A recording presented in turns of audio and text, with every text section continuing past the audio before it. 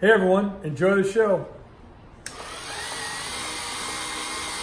Mantiques Network, how you doing today? Haven't listed in a while, been upgrading to a new Mac and there was nothing easy about it because I bought a restored one, so just putting in your username and password just didn't do a clean port over, so I had to do it manual. So anyways, enough of my bad story. What we have here is a 36 inch porcelain Coca-Cola white button sign with no markings, no letters at all. Want to take a look at, again, this came from a San Jose collection. There was a chip in it, uh, make no bones about it. Jaime did a nice job. He went in there, those were the two chips somebody had done a less than desirable uh, touch up on it. He went in there, made it look better, but that's what you can expect. That's the way it looks.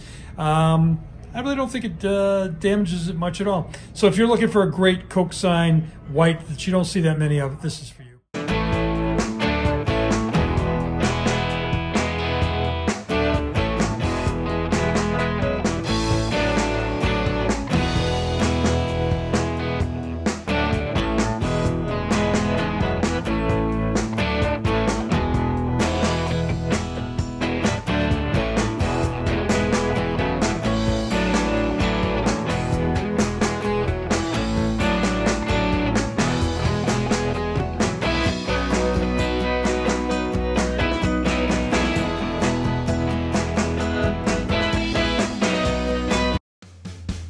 These are antiques. These are mantiques.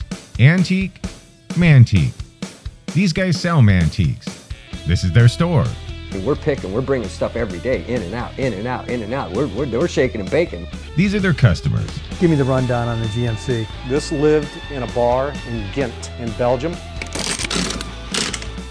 Follow Jim and Jeff from 9 to 5 or after hours as they buy, sell, and restore the coolest stuff for the coolest collectors worldwide.